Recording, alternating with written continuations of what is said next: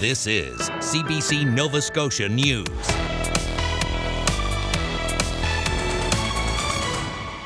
Good evening. The Progressive Conservative government in Nova Scotia tabled its third budget today. It is a document that continues massive spending on health care, but also gives a nod to cost of living pressures. It comes as the province gets closer to an election year. Michael Gorman breaks down the numbers. The budget unveiled today includes revenues of $15.8 billion against expenses of 16.5 billion. The deficit is projected to be $460 million. Finance Minister Allan MacMaster says his government remains focused on fixing the province's healthcare system and there's more than 7 billion toward that effort. Among other things, there's 184 million to help address wait times and access to diagnostic testing and surgery. There's 75 million to help advance electronic patient records and more money for cancer care and hospital construction. Funding for doctors clocks in at 1.2 billion dollars. The budget also includes 36 million toward the creation of universal mental health and addictions care. But MacMaster says it's also time to broaden his government's focus. Cost of living has become top of mind for people as we experience some of the highest increases in inflation in 30 years. The number one ask by Nova Scotians in this year's budget consultation was for tax relief, and they're going to get it. Tax relief will come through income tax brackets, the basic personal amount, and some non refundable tax credits being indexed to the rate of inflation starting in January. That amounts to an average savings of between $69 and $259 per person next year, depending on their tax bracket. The average savings increases to between 231 and $863 in 2028. Premier Tim Houston says it's a big deal. And it is a, a very, very significant, meaningful form of tax relief and I believe that will will will end up to be the biggest uh, tax break for Nova Scotians, certainly in their history. The government also announced $18.8 million to begin the rollout of a school lunch program. Officials say it will start with elementary schools in the fall and take four years to reach every school in the province. The timeline could be shortened if a deal is reached with the federal government for funding. Opposition leaders welcomed news of the lunch program and the indexing of tax brackets, but they say income assistance rates also should have been indexed and increased for everyone. Monthly payments are going up for 60% of recipients. Zach Churchill and Claudia Chender say the budget does not go far enough to help people struggling with the cost of living. The province can actually afford to cut the HST right now. They brought in an additional billion dollars in taxes last year that they didn't even know about. Uh, and if we're going to help working class, middle class people, and low income Nova Scotians, we have to ensure that they're not paying the high sales tax in the country. You know, we have a massive, massive number of uh, Nova Scotians in core housing need and lots of middle class folks who just, you know, struggle each month uh, to pay the rent. And we see almost nothing uh, to help those folks in this budget, and that's really concerning. During their first two years in office, the Tories benefited from tax revenues that came in well above budget projections. That resulted in more than a billion dollars in unbudgeted spending in 2023 24. It remains to be seen if that will happen again this year. Finance officials say growth from an increasing population will continue this year, although the trend is expected to slow. Michael Gorman, CBC News, Halifax. I'll talk to the finance minister about what's in the budget and what's not. That's our newsmaker interview just after 6:30. Halifax is preparing to take new steps to get people out of tent encampments. More than 50 people received eviction notices earlier this month at five sites. But when the deadline came earlier this week, the city did not enforce it. Now, officials say they're going to remove people's possessions and cut off their access to power. Taryn Grant reports. 10 tents are still standing at Grand Parade, including one that's home to this man and his pregnant wife. They've been homeless since their apartment in Hammonds Plains burned down in a wildfire last year. They spent some time at a shelter, but they didn't feel safe. We've been trying our hardest. We've been doing everything we can do, but there's just no help, nobody to help step forward. The gentleman here that takes care of the park with us, he tries to help us and feed us as much as possible and, you know, do what he can do and but there's just no help from the government or no help from the city just to lend us a hand, you know. The gentleman he's referring to is Steve Wilsack, who's been volunteering here for the past three months. I am pleading don't move people unless there's a place for them to go. The city and the province say people do have options for moving inside, but Wilsack disputes that. There has been misinformation in terms of that there are places for people to go. Other than an emergency shelter, which is not home, people need four walls, housing first. Tents at Grand Parade have been connected to a power generator since January, which they rely on for heat. But tomorrow, the city says it's turning it off. I hope they don't, but if they do, I don't know what I'm going to do. I don't know what my wife's going to do, two of us.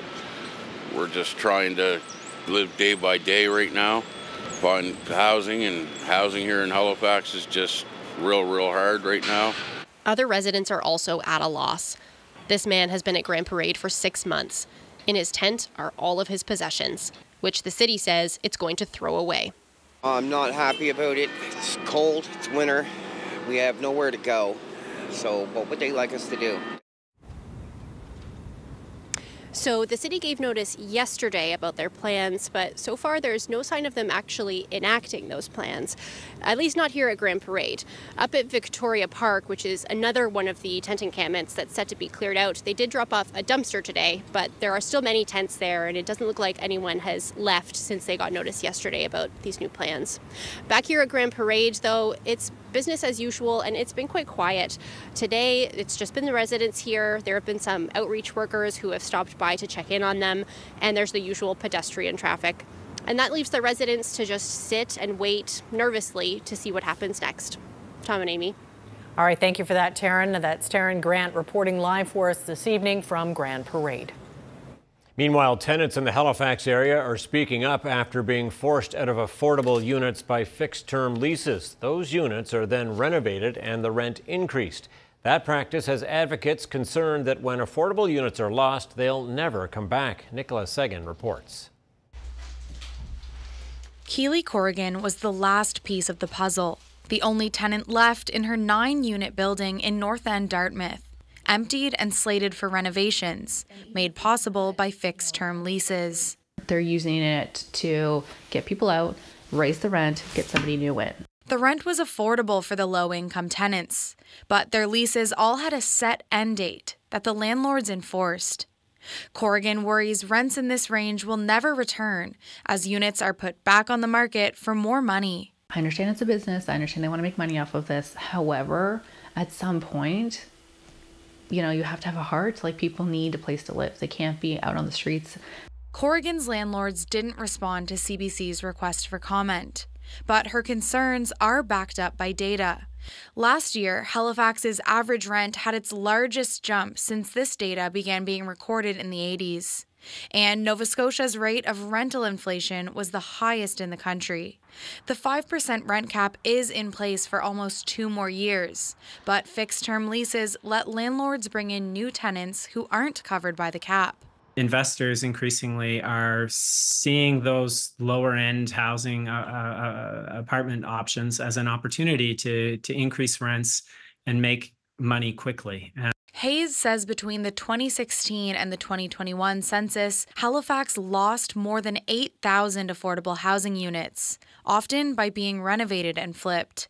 They're not coming back. No one is building $700 a month uh, rental units. Uh, Ben Wilson also lost housing he could afford after his landlord did renovations and his fixed term lease expired. He was offered a new one but couldn't pay the higher price. It was unlivable conditions, from being realistic, but I put up with it assuming that I'd get another lease once the construction was finished. Wilson's landlord told CBC News that property owners are dealing with skyrocketing expenses, far outpacing the rent cap. The province says it's working to find ways to balance landlords' rising costs and tenants' need for rent stability to make fixed term leases a less popular option. Nicholas Seguin, CBC News, Halifax. And new data shows that the Cape Breton Regional Municipality has the worst vacancy rate in Nova Scotia. The numbers from the Canada Mortgage and Housing Corporation show that the vacancy rate in CBRM is 0.8 percent. That is lower than Halifax and among the lowest in the entire country.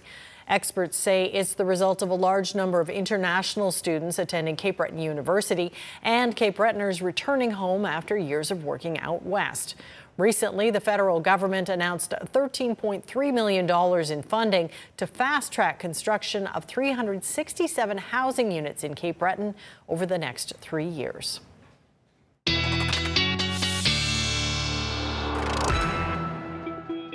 And Ryan Snoddon joins us now on a day that started out pretty darn nicely, didn't it? Yes, and then it dipped down awfully fast. yeah, it was wet, but it was warm this morning. That is for sure. Uh, just a wild swing temperature wise today. Uh, right as advertised. Uh, look at our temperatures at 5 a.m. this morning. Widespread double digits. Uh, that front had just moved through Yarmouth at 5 a.m. and then crash those temperatures did from west to east throughout the day. There's 9 a.m. already below freezing in Yarmouth, still 7 uh, in Halifax, double digits in Cape Breton, and then by noon we are at zero in Halifax. Sydney was still at 8 degrees, and we've continued to tick down 3 o'clock. Sydney was the last spot to drop below the freezing mark already minus four there. It's minus seven in Amherst and Parrsboro right now, minus seven in Kentville, and minus six in Halifax. That's just the temperature. This is what it feels like, minus double digits. So in terms of what it actually feels like, feels about 20 degrees difference uh, from this morning. So an incredible powerful cold front indeed. Uh, we've got some flurries in the mix right now on the other side of this front as it moves across Newfoundland, and those flurries will linger through tonight. Could see a couple of centimeters of light accumulation for the mainland. In Inverness County could pick up as much as 15 centimeters with some snow squalls setting up there uh, north of Mabou. There's the area of high pressure which is settling in and it is going to help direct some milder air back into the mix. Temperature swings, you want them, you got them. How about this? So this is this evening. Watch temperature, just temperature wise. We're starting the morning in the minus 7 to minus 14 range, feeling widespread minus teens and 20s tomorrow morning. And then uh, temperatures are going to stay pretty chilly throughout the day tomorrow, in fact, well below the freezing mark. But as we move into Saturday, the winds shift back to southerly. We're mid to high single digits Saturday mid to high single digits again on Sunday. Now, we will be sprinkling in some showers here for Sunday, no question about it, as this area of high pressure moves out, Tom and Amy. Uh, we're going to increase the clouds through Saturday, and then we've got this low that's going to kind of sit and spin for a few days off to our south, and that will be certainly throwing some moisture into the mix. So the warm up will come with a price tag eventually of some showers, but we'll walk you through that with your full seven day forecast coming up in a few minutes. Okay. Lots to talk about there. Okay, thanks so much, Ryan. Thanks, Ryan. Thank you. Representatives of the maritime elver fishery are calling on the federal government to implement enforceable regulations for moderate livelihood fishing by Indigenous people. They told a Senate committee in Ottawa that ambiguity is leading to unauthorized harvesting of the baby eels on dozens of rivers in Nova Scotia and New Brunswick. Paul Withers reports. We are pioneers of this industry. The appearance comes as the Minister of Fisheries and Oceans considers canceling the upcoming season an acknowledgement that once again DFO is unable to manage this fishery. I implore you not to believe any of the misleading statements that removing legal fishers from rivers will reduce the number of illegal and unregulated fishers taking our place. Poachers will be out in force as soon as the elvers start running, as they were during the shutdowns of 2020 and 2023. She's referring to the hundreds of unauthorized harvesters eager to cash in on the tiny translucent eels that are shipped live to Asia and grown for food. As Mi'kmaq people, all of this is our territory. It's on ceded Mi'kmaq land, and we are allowed to fish anywhere we want. Many are indigenous, asserting their treaty right to earn a moderate living from fishing, claiming they do not need DFO approval, despite a Supreme Court ruling to the contrary. Commercial license holders say the department must put its requirements in writing. If DFO tries to enforce the law, the courts and the prosecutors say, well, there's no regulation that says they can't. So DFO simply needs to make a regulation saying, here's what the can, the do's and don'ts are, and they need to apply it to all First Nations. Uh, 3,600 kilogram tack. The elver fishing plan put forward by the Assembly of Nova Scotia Mi'kmaq chiefs would take more than a third of the maritime wide total allowable catch to be fished by about 600 people. It's not clear if they will defy a closure. We feel that she doesn't have the ability to make a unilateral decision to do that without our um, input. You know, nor is the enforcement response any clearer. DFO declined comment today. It says it's still considering feedback received since it announced its intention to cancel the season earlier this month. Paul Withers, CBC News, Halifax. A new public prosecutions policy hopes to change the way black people in the province move through the criminal justice system. It is called the Fair Treatment of African Nova Scotians and People of African Descent Involved in Criminal Prosecutions Policy. It was announced last night at the Black Cultural Centre in Cherrybrook. The policy designed to help law professionals view various aspects of criminal cases through a more culturally competent lens. That includes arraignment, bail, and sentencing, even the initial decision who to, pros to prosecute. Robert Wright with the African Nova Scotian Justice Institute says getting the policy implemented hasn't been easy. I'm optimistic that we got to the place where there is now a policy in place. Um, it would be fair to say that over the last year or so, it's been a rocky road toward to this moment in time. Um, it, I think it would be fair to say that there was significant opposition, internal opposition to the policy, uh, uh, perhaps even internal um, lack of understanding of its necessity. Rick Woodburn, the acting director of the Public Prosecution Service, says the policy is not only about changing the system, but also about fostering trust in the black community. The father of a 34 year old Cape Breton University student who died in a 2022 house fire is suing his son's landlords and two of his roommates. The statement of claim, which has not been proven in court, alleges there was inadequate fire safety equipment and fellow tenants failed to extinguish smoking materials properly. Rajesh Gulapudi died of injuries he sustained in that fire that consumed his residence in Sydney. Court documents show the landlords have already been charged with several fire safety infractions and are expected to enter a plea next month in provincial court. Well, if you're one of the millions of Canadians who work today, you may not have gotten paid. Those on a fixed annual salary are likely not getting paid for the extra day during the leap year. The average salaried worker may be losing out on hundreds of dollars while employers collectively saved billions. The CBC's Philippe de Montigny reports. In the heart of Toronto's financial district, many who earn a yearly salary are not too happy to find out they aren't getting paid for the extra day of work during leap years. I think it's pretty brutal. I know for myself, if I'm working, I want to be paid. Like you still have your expenses for that day. I think we should be compensated. Some argue it's a give and take. Being salaried comes with other benefits and more flexibility. I'm not necessarily a nine to five kind of gal, even if that's what my contract says. The reality is I'm expected to yield a certain amount of work, and that's that's what I'm getting paid to do. It's a quarter of a day every four years, so that doesn't really kind of move that bottom line for me a whole lot. But for some, it can add up to hundreds of dollars.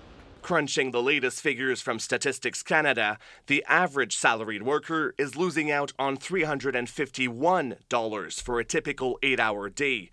And with more than 6.5 million people earning a fixed annual salary, about a third of Canada's workforce, employers collectively save more than $2 billion.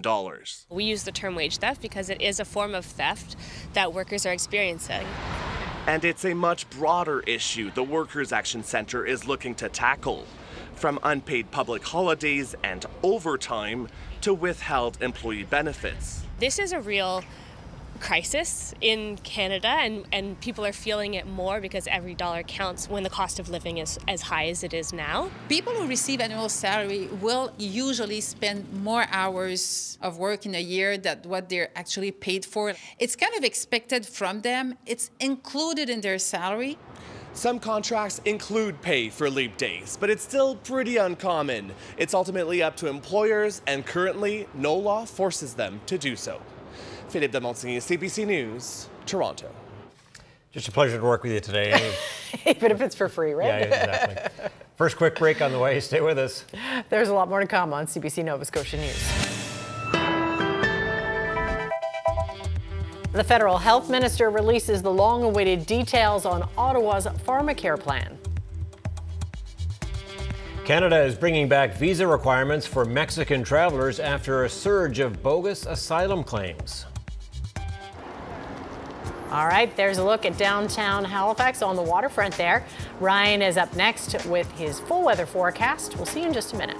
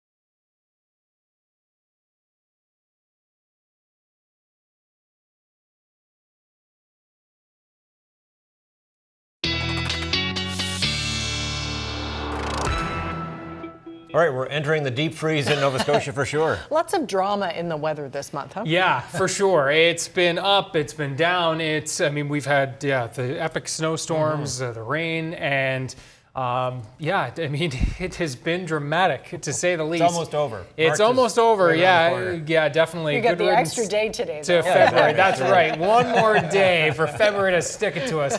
Uh, I don't get to use this graphic very often, so it's one of my favorites uh, as we look at the temperature change from this time yesterday to now, and you can see how much the Maritimes has dropped Places like uh, Charlotte there have dropped 24 degrees wow. in 24 mm. hours. And you can see New Brunswick, certainly the, the most dramatic change, but Nova Scotia, anywhere from 17 at Greenwood, uh, 15 at the airport in Halifax. So uh, definitely a huge drop. And there's where we are across Nova Scotia right now. Uh, temperatures will continue to drop down. As you can see, Sable Island still at the freezing mark, but everywhere else uh, certainly below freezing now. And those winds are going to continue to be a factor for tonight easing, uh, but still sustained right now 40 to even 50, 67 at Westport, as you can see, uh, 33 at Amherst, 44 at Caribou Point, that station gusting to 60, gusting to 70 in Lunenburg. 85 at Westport. Uh, so it's definitely still quite breezy out there. And uh, by the way, we did see some pretty strong wind gusts. I meant to throw that graphic in, uh, but uh, yeah, that one uh, skipped by. So we'll uh, make sure we circle back to that at the end of the show. Widespread gusts, though, 70 to 90 kilometers per hour. We did crack 100 in more than a few spots, including Digby. Halifax Airport was at 102, um, and East Knoll at uh, Cobequid Bay, 119, a localized gust there. So uh, that was, of course, last night, and it was howling, wasn't it? Uh, we'll see those. Uh, we can see those wind chills already in the minus double digits and teens out there right now. So it's pretty chilly if you're heading out for that dog walk uh, this evening. Bundle up and be mindful that things have, of course, turned icy after all of that water, all of that rain, that runoff. Uh, things are turning icy out there, so Keep an extra watch on that first step on your walkway or any untreated surfaces through this evening. Area of high pressure, that's going to clear us out for tonight and we'll keep some sunshine in the mix even into Saturday. This is the low that's just starting to develop here along the Gulf of Mexico. That's going to hit the coast and then work its way northward and that will throw clouds and showers into the mix for a good chunk of next week as we certainly start uh, March, well, not start March. Tomorrow is, of course, starting March on a, on a cold note, but uh, for the rest of the week, March looking uh, certainly quite mild. Minus 13 in Edmonton, minus 5 in Calgary, so you can see that cold air kind of in the north of Canada, but that milder air starting to creep its way back in. Chance for some flurries uh, for, for, tonight, no question about it. Uh, the best chances are going to be in the north and east for the Northumberland Shore region. Could see a couple centimeters here, could see five to even 10 centimeters for uh, Inverness County north of Mabou. And we are looking at those temperatures starting in the minus double digit range for a good portion of us. As we move throughout tomorrow, you can see a solid mix of sun and cloud across the province. Note that those onshore flurries and the squall chances continue in through northern Inverness County. Another five centimeters, no question, uh, possible there. Uh, so totals over the next uh, 24 hours could add up to around uh, 15 centimeters in some cases there uh, for the highlands. Temperatures tomorrow for those highs near the freezing mark. Digby, Yarmouth, and Shelburne counties minus 2 to minus 4 for a good portion of the valley into the South Shore region, including the Halifax area. Minus 6 to 7 for the east, uh, especially Cape Breton. Minus 7, maybe even minus 8 up through uh, northern Inverness County. Wind chill values tomorrow morning will be into the minus teens and 20s. By lunchtime, uh, backing off a little bit, but still very brisk from start to finish. So make sure the kids are dressed warm uh, when they head to school for tomorrow. Look, it's Saturday. Five, six, seven, eight degrees across the board. Increasing clouds, chance of some late day showers pushing into the Tri County area. As we mentioned earlier, this next system will be throwing some more moisture into the mix, certainly in the form of cloud cover and shower chances, not only Sunday, uh, but likely into Monday and Tuesday. And yeah, it's looking a little unsettled next week for sure. Certainly plenty of clouds. Uh, not all of these days will be constant showers, but shower chances, no question, as we work our way through next week. But temperatures certainly mild. Tom and Amy. I have no snow left in my yard. No, like I know the snow's gone. Crazy Oof, how fast the snow melted. Yeah. okay, thanks so much, Ryan. Thank you. Thanks, Ryan. Up next, I'll talk with Nova Scotia Finance Minister Allan MacMaster about his party's latest budget released today. That's our Newsmaker interview. Stay with us. You're watching CBC Nova Scotia News.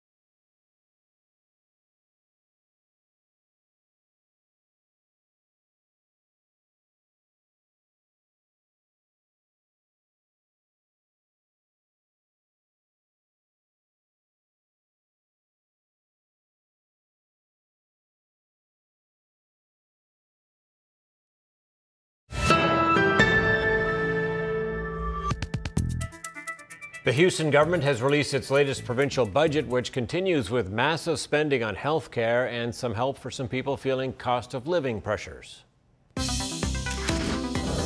Allan MacMaster, Nova Scotia's Minister of Finance, is with us now. Welcome. Well, thank you. Nice to be here. I heard you say that Nova Scotians wanted uh, tax relief, and they're going to be getting that in the in the indexed uh, tax brackets and in basic personal amount. It's uh, between 65 and or 69, 269 dollars a person. Doesn't sound like a lot of money. How much relief really is that? It'll start coming for people in January of 2025. They'll notice it on their paycheck. Uh, there'll be less money coming off, more going into their pocket. And this is the kind of tax relief that's going to get bigger and bigger every year. So it's going to compound every year as it's indexed, it'll become worth more and more to people. So it is a big decision point. It's something people asked for. It was the number one ask in budget consultations, and we were able to provide it. Why not uh, take a couple points off the HST? Uh, you know, if, if people want tax relief and they want a lot of mo more money in their pocket, wouldn't that be a better way to do it? Well, income tax is, is something that, you know, anybody that has to pay income tax, they're all paying it. Um, consumption taxes like HST, uh, certainly people need to buy a certain amount of things, but once you get past that, uh, people who have more money can buy probably limited, it's unlimited how much they could buy and could benefit from an HST cut. We felt the income tax relief was something that was better for everybody. And it was also the number one thing that people asked for was to actually income tax, index the income tax brackets. But we went a step further. We, we indexed the uh, basic personal amount and we also indexed various tax credits. All told, it'll mean more tax relief. Talking about people who are affording things, there's a lot of people in this province who can afford a lot less. Um, and yet, your government has not increased the income allowance for the third budget now. Uh, why not? Don't, surely there must be more that needs to be done there. Well, we actually did increase it by $300 more per month for 60% of people who are on income assistance. This was, this was just recently. Yes, it's actually part of this budget. Mm -hmm. uh, and so there's a significant increase, and I understand that will be anywhere from a 22 to 44 percent increase for people uh, who have disabilities. And that uh, That's forms, just people with disabilities, though. Yes. So I'm talking about everyone who's on income allowance. Your mm -hmm. budget hasn't increased that for everyone. Well, there are supports throughout the budget, and every ministry has a role to play. Uh, one of the other significant things we announced today uh, was a school lunch program. So anybody that is having difficulty making ends meet at home and sending their children to school, a school lunch program combined with a breakfast program will ensure that some of that pressure to provide food for their children going to school, uh, some of that pressure comes off them at home. That would help. I could see that helping a family, but that's not going to be fully rolled out for four years. Why is it taking so long to get what should be a fairly simple mm -hmm. program out and running? Uh, every school is different in the province. And uh, we have, for instance, there are some schools that are primary to five, some are primary to eight. Um, schools have different uh, food preparation equipment in them. So there's all these details we need to work out, but I know there's work happening on it already. There's a, a real interest to be fair about which schools get it first, and we want to start with the, the youngest grades first. Um, so I know people at the Department of Education are going to be, they're working on it now, and there'll be a lot of work happen over the summer. And once people come back for school in September, uh, there'll be some efforts then because teachers will be involved in this and everybody will need to get familiar and set up. And our hope is, is by the fall, this program will be up and running. And uh, the first part is, is in the budget today about $18 million. And then as time goes on and it's expanded to other schools and other grades, uh, it, will, it will grow in cost, but it will also grow in benefit. Mm -hmm. A lot of desperate people will be looking at this budget and saying, I want more in public housing. They're not going to get it in this budget. Why, why not? Well, they are going to get it because we've increased uh, in just two and a half years, we've increased the number of rent supplements from 4,000 across the province to 8,500 in this budget. So we've more than doubled the number of rent supplements. That helps people who can identify housing, uh, which may be a bit out of their reach. The supplement can help bring it within their reach. I'm talking about building public housing, which is what all the experts are saying we yes. need to do more of? Well, we're trying to leverage the private sector. Uh, as you, you will know, we took the HS, the provincial sales tax, off the construction of uh, multi-unit residential housing. Um, so that is an incentive for the private sector. But if there's not enough happening through the private sector um, and through cooperative organizations that also build housing, we've taken the step to, in this budget, to build more public housing. And that's the first time in a long time that the province is investing in new public housing. It's more expensive to, to own, operate, maintain. Uh, we have the stats to prove that, but we're willing to accept that we need to do it. I need to ask you about the healthcare spending because it's massive in this budget as well. Um, it's a big dollar figure attached to it. Mm-hmm. Can does it come with any guarantees or uh, confidence that you are going to move the needle on wait times and wait lists in this mm-hmm. province? I think we've been moving the needle already. In fact, if you look at long-term care beds, nursing home beds, when we when we came to office two and a half years ago, there were 500 vacant beds because there was no nursing staff to have people in those beds. Those beds are all full now. Um, over 300 more have been added to the system. They're full. Um, there's a significant decrease in surgery wait lists. They're still uh, some of the highest in the country, though. Yes, and that is because we had a system that was not uh, it was not capable to handle the population we had, let alone the population we have now. So we're very interested in results. We want to be able to point to results, and in this budget, uh, we are building on the results we've gotten so far, and uh, we're hoping to achieve more. So many lines in the budget. We only have so much time. I appreciate you talking to us about it. Thank you, Tom.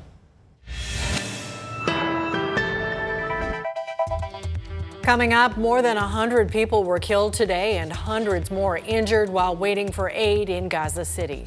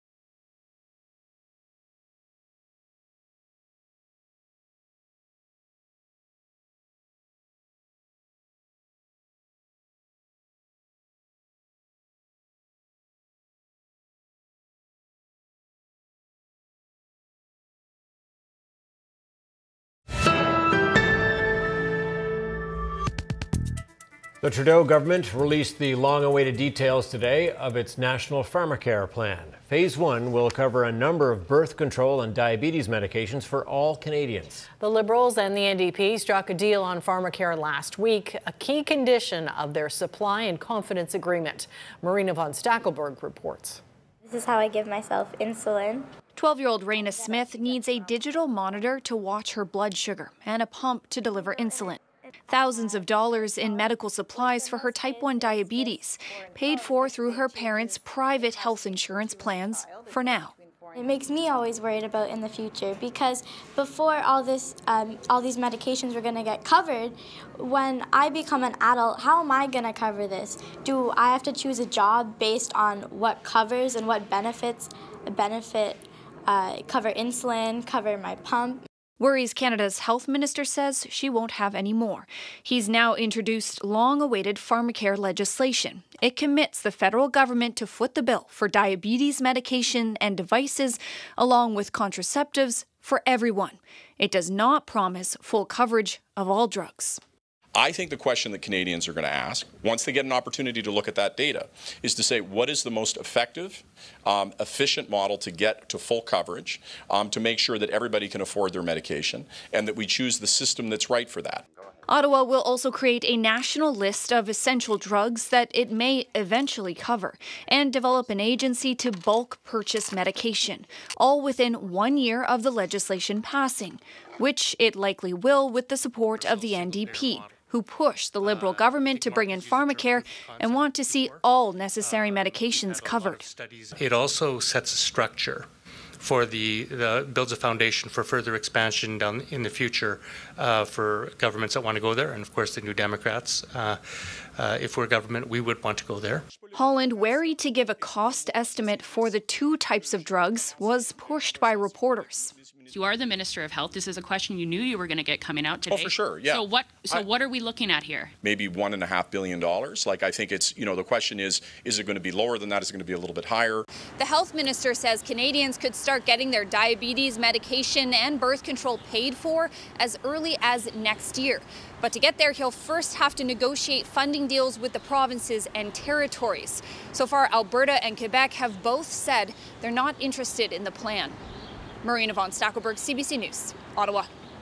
Statistics Canada has released its GDP numbers for the fourth quarter. It's the broadest measurement of everything this country produces.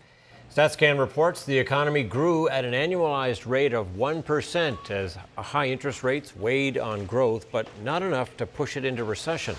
StatsCan says growth in the fourth quarter was driven by a rise in exports, while housing and business investments both fell. That follows a third quarter decline of half a percent in real gross domestic product. Outside of 2020, when the pandemic took a sledgehammer to the economy, StatsCan says growth last year was at its slowest pace since 2016. Later tonight, most Mexicans will need a visa in order to enter Canada.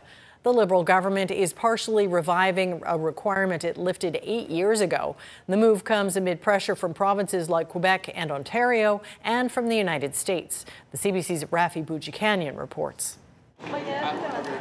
As these travelers landed in Canada, their relatives here worried it might be their last visit for a while. Oh, God. Well, that's very upsetting for us because we are trying to make Canada a living. So for our family, it means another step um, or another boundary because now they, they will have to apply in order to come here to Canada.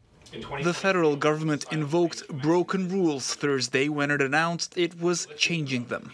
We have seen a number of claimants cross from the northern part of the border into the into the southern uh, into the into the United States. I won't exaggerate those flows, but they are significant. Mark Miller also said there has been a rising number of asylum claims from the region, including a 17% increase from Mexico last year. Most claims rejected by the Immigration Refugee Board or abandoned. The integrity of our immigration system is a top priority for us. But a majority of the asylum seekers who did come through have wound up in Quebec, which was looking for the return of visas and now still wants a billion dollars from Ottawa to help with the Mexicans here. I think we built the equivalent of about 50 schools for them in the last uh, few years. Uh, we have to give, give them health care services. Uh, right now, 30% of the uh, social help is going to them. The Mexican Foreign Affairs Department also reacted. It said Mexico regrets this decision and believes that there were other options available before putting this measure in place, and added Mexico reserves the right to act in reciprocity. Ottawa's acknowledging this decision has angered Mexico, but says it had to act. It says it wants to work with the country to bolster an agricultural work program offering Mexican workers new opportunities here.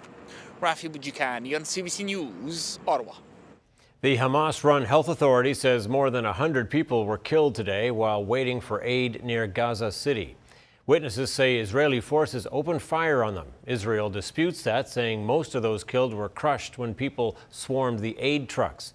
Journalist Sarah Coates is in Tel Aviv with the latest. Absolutely horrific pictures coming in from the ground. More than 100 people have been killed, 700 others are wounded, with medics on the ground saying that hospitals are just completely overwhelmed and all they can do right now for the injured is provide first aid. We do have a statement from the Israeli military. It says that early this morning, 30 aid trucks crossed through the Kerem Shalom crossing. When they reached Gaza City, they were stormed by residents, resulting in dozens of people killed in what they're calling a crowd crush.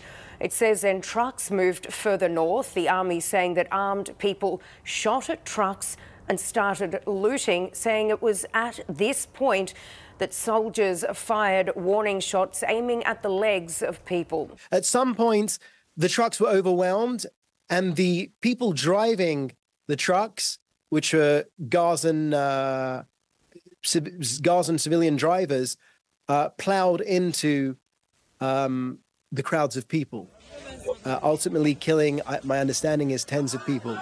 I don't have anything more specific to that. It is unfolding. Washington says it's looking into these reports, calling it a serious incident, while Hamas is also responding, saying that this could derail these hostage and ceasefire negotiations. Sarah Coates for CBC, Tel Aviv. Vladimir Putin issued a blunt warning today to the international community, saying any direct intervention in the war in Ukraine could spark a nuclear conflict. The Russian president made the ominous statement in a two hour State of the Nation address. Putin says any move to send foreign troops into Ukraine could lead to the use of nuclear weapons and, quote, the destruction of civilization. He was responding to comments earlier this week by French President Emmanuel Macron, who floated the idea of Kyiv's allies sending soldiers to help with Ukraine's fight. Putin spoke on a range of issues today, but notably made no reference to the recent death of jailed Kremlin critic Alexei Navalny. Navalny's funeral is expected to be held tomorrow. The Saskatchewan Roughriders are having to play defense after some season ticket holders said their new ad campaign was way offside. The CBC's Aishwarya Duda has the details. I lost my mind. It was a case of stereotype after stereotype, negative against girls, against women. The Saskatchewan Roughriders are getting some backlash over the use of girl math to sell tickets. The CFL team sent out an email to season ticket holders that reads, proficient in girl math? It's basically free. The ad goes on to say, literally the best excuse to wear matching outfits and take the stairs, earn the seltzers. The team is trying to pull off the TikTok trend. If I pay for something with cash, it's free. Why? Girl math. I spent $200 at one store but all the other stores we walked into, I didn't buy anything. So when you spread it out, that was good. You saved money. I saved money. What is this called? Girl math? Girl math. But some longtime football fans and some marketing experts say the Roughriders fumbled on this one. Take the stairs and earn the seltzers did it to me. Toxic diet culture. So, this rugged and masculine brand personality, calling women girls, and talking about things like girl math can come off as a bit condescending. Um, when it comes to trends like girl math, it's one thing for girls to make fun of themselves and another for a man to poke fun of you. I'm assuming they're trying to get like girls interested in football and increase their viewership. But I think that's interesting to not assume that, hey, maybe girls actually want to watch football and they're not just here to do stereotypical things that we've been told like we need to do. So I think it's I think it's a pretty out of touch ad. I'm a little embarrassed for whoever made it. The Riders say the ad was a playful attempt at the TikTok trend, but missed the mark. And for that, they unequivocally apologize. They also say women in the marketing department came up with the ad, but they accept it didn't resonate with fans. And quite disappointing. After the Riders issued their apology, we checked back with Anne Marie Sauer. She says she's pleased with the apology, but still confused and concerned that this kind of mistake was made in the first place. Aishwarya Duda, CBC News, Saskatoon. Canada's main stock index gained more than 100 points today, boosted by gains in energy stocks, while U.S. markets also rose. Here's a look at the numbers.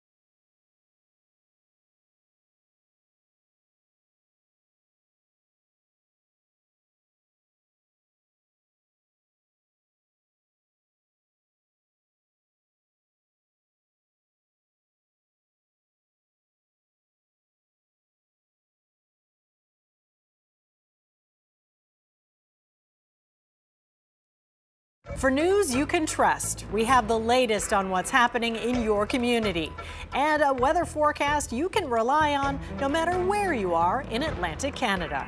I'm Amy Smith. And I'm Ryan Snoddon. Join us for Atlantic Tonight. Right after the National. Yeah, it's going to be chilly tonight. Oh, and tomorrow, Tomorrow too. as well, yeah. With the Yeah. wind chill, right? Mm-hmm. The wind is definitely going to be remaining persistent, uh, not nearly as strong as last night, thankfully.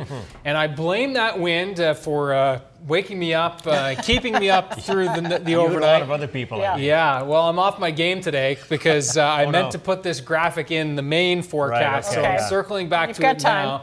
Yeah, we've got a few minutes. So let's just look at some of these uh, peak wind gusts from last night. I mentioned earlier East Noel, uh, 119 kilometers per hour there on Cobequid Bay. Uh, Comoville at 109 and Beaver Island at 100, Plateau in there in Inverness County at 117. That's a Les Suêtes wind there. But uh, yeah, pretty impressive winds for sure. And in terms of the rainfall, in case you missed it, uh, yeah, we again certainly saw some heavier totals in through Digby County, uh, some 70 to 80 millimeter amounts there. But uh, yeah, Sussex area and New Brunswick hit hard, 90 to uh, 160. Wow. Local reports there of up to 200 millimeters, and we uh, obviously saw localized flooding uh, in that area. So unfortunately uh, for those folks there, that's all freezing up now and really causing a mess uh, as that cold air mass really settles in under this area of high pressure. Uh, note through the uh, timeline tonight, those flurry chances will be certainly in the mix. The best chances are going to be in the north and east and in Inverness County, where we have a snow squall watch, which is in effect and will linger into tomorrow as well. Temperatures will range from the getting up to around the freezing mark for the Yarmouth area for tomorrow. Most of us, though, minus two to minus six and minus sevens across uh, the Northumberland shore and into Cape Breton. There's a quick look at Saturday. I want to show you that seven day forecast in case you missed it earlier. Certainly looking like spring there. Warming Sure up is. for sure. Okay, computers, well, they used to be the size of a small building, but now they can fit in the palm of your hand as a smartphone. That's right. And there is a tech company that's well on the way to taking the next step an AI pin. You can see that I have it over here. Okay. Hi. And I can also, you know, cycle through important information and navigate through the device. The AI pin looks like a badge and it operates on voice commands and gestures. A laser projector lets the wearer use their hand as a screen and a navigation device. Some of the built in tech includes an advanced search function, AI assisted messaging, language translation, and a computer vision system.